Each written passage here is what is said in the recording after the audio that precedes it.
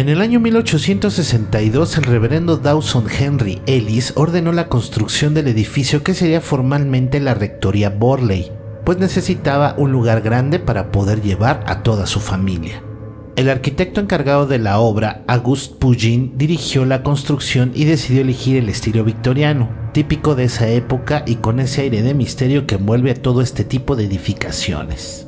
El origen de una de las más aterradoras leyendas que envuelve este lugar puede ubicarse en el siglo XIV, cuando se dice que un monje y una monja de un convento cercano vivieron una relación prohibida, y al ser descubiertos les fue impuesta la pena capital. El monje fue llevado a la horca y la monja la tapiaron en las paredes del convento para que todos los habitantes de la zona supiesen las consecuencias que traería este tipo de actos impuros. Se dice que el chofer que los transportaba fue decapitado al ser inculpado de cómplice de ese pecado. Desde 1863 una gran cantidad de hechos extraños y sobrenaturales empezaron a ocurrir en ese sitio. La aparición de figuras fantasmales, ruidos extraños y objetos que parecían cobrar vida era algo habitual en esa rectoría. Entre los fenómenos documentados, los más aterradores narran la presencia de un fantasma que vieron las hijas del rector encargado del lugar en el año 1900. Y cada 28 de julio cientos de personas se congregan para ver el fantasma de una monja que deambula por los pasillos de la rectoría, a la que llaman The Nun's Walk o la caminata de la monja, misma fecha en la que siglos antes habría muerto tapiada en las paredes del lugar. Los fenómenos paranormales llegaron a ser tan frecuentes y espeluznantes que el reverendo Eric Guy Smith y su mujer decidieron contactar a un grupo de investigación paranormal para que les ayudase a investigar lo que sucedía en este sitio. El Daily Mirror envió a uno de sus reporteros a cubrir esa historia, en la que después se narrarían hechos tales como que se escuchaba el sonar de las campanas aún después de haber sido cortadas las cuerdas que las movían y la aparición de extrañas luces en las ventanas. Años más tarde, movido por la curiosidad y el interés de este tipo de fenómenos, el investigador Harry Price alquiló la rectoría durante un año para poder investigar y registrar los sucesos paranormales que ahí sucedían. Junto a él estuvo un equipo de observadores que fueron tomando nota de todo cuanto ocurría en el sitio, documentos que al ser reunidos dieron forma a un libro escrito en 1940 el cual llevó por nombre La casa más embrujada de Inglaterra. Un año antes la rectoría fue misteriosamente consumida por el fuego y en 1976 Ed y Lorraine Warren viajaron al lugar, donde comentaron que la experiencia en el sitio fue realmente fenomenal.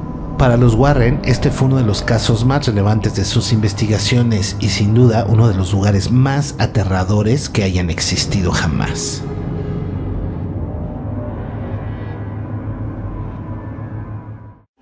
The first experience for me was phenomenal.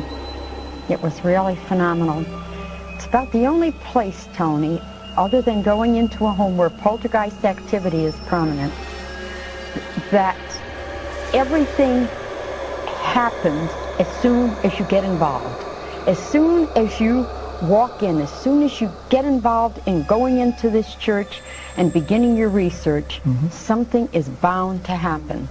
Now that first day, I had a very skeptical researcher with me. Mm-hmm. He was a newspaper man from Danbury. And he was obnoxiously skeptical. But he was keeping a full diary for me. So he was very, very helpful. I worried about what his effect was going to have on this building. So I was in and I was discerning. I was standing down by the altar. I was with a group of people and I was discerning. When all of a sudden he came charging in mm-hmm. through the back door, and some, he said, something is hitting me. It's hitting me. It's hitting me. And he was absolutely hysterical. He was hysterical. Now at that point, he said, I can't breathe. I can't breathe. The Now, Lorraine, record- was, was this was this researcher psychic by any chance? No, He by wasn't no means. Oh, by yeah, no. he had never been in a haunted He had never been to a haunted area, Tony. Okay. And the recorders are on because people are recording what I'm discerning. Mm-hmm. Now later, later at our hotel in London, he came down to my room and said, Mrs. Warren, it's going to be impossible for me to write anything about that church that we were in. I said, Borley? He said, yes.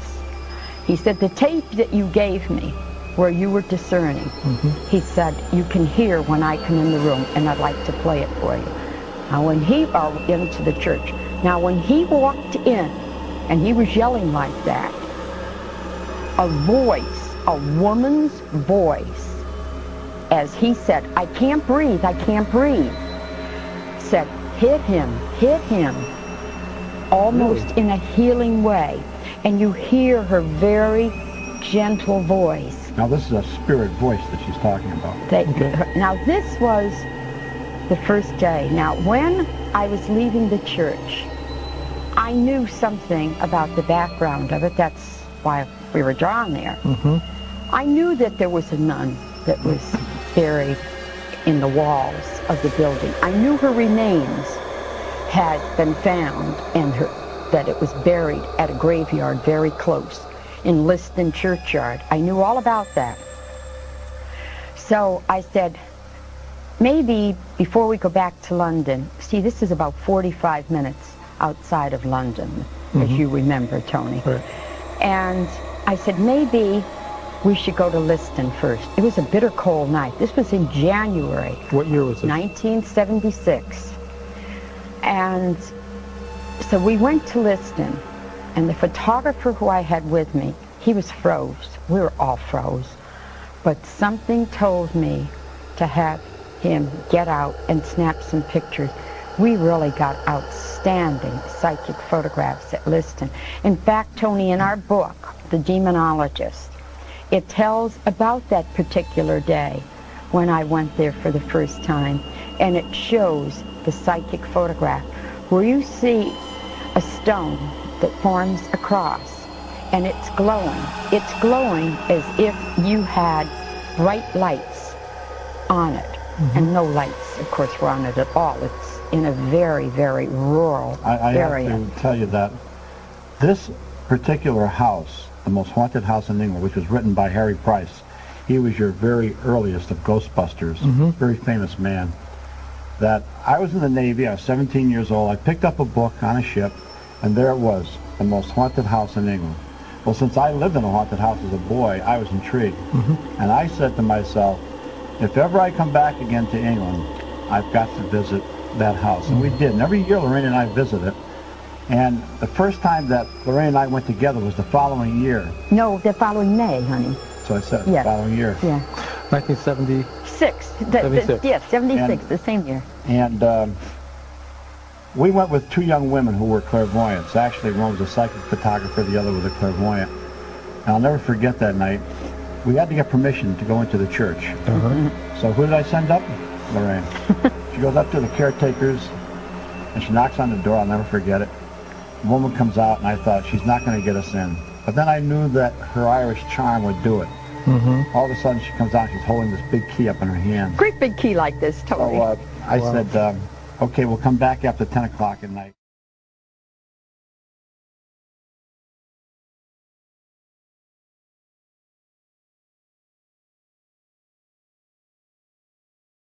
Gracias por acompañarnos en este viaje sobrenatural. No se olviden de compartir el video, suscribirse a nuestro canal y seguirnos en nuestras redes sociales. Se despide de ustedes su servidor y amigo Hernán Almaguer. Hasta la próxima.